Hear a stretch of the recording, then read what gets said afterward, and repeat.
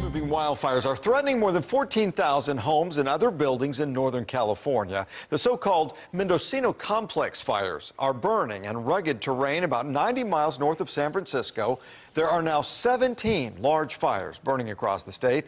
The fires have killed at least eight people. Here's CBS's Mireya Villarreal. The Mendocino complex fires are burning through rugged terrain in the hills of Lake County, moving quickly enough to threaten highly populated towns nearby. Cell phone video captured the moment drivers had to turn around on a main highway when the road was blocked by flames. What is it about this area that's so susceptible? You can see how thick this vegetation is. If there's a fire that comes into an area like this, you can't put personnel in here. The aircraft, the helicopters that are working this fire, that is the best approach to fight a fire like this.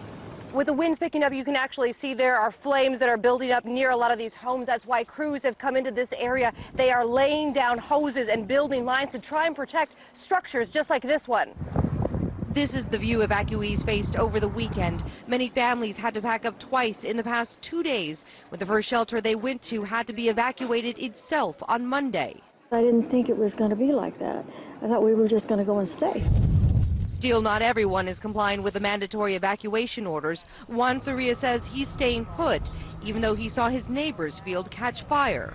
Your life could be in jeopardy. If my life is, is in jeopardy, I'm not going to uh, risk it for material things, but as long as I can defend it, I will. This is all I got. This is all I got.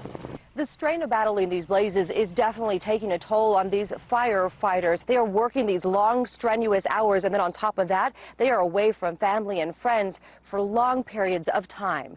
Mireya Villarreal, CBS News, Ukiah, California.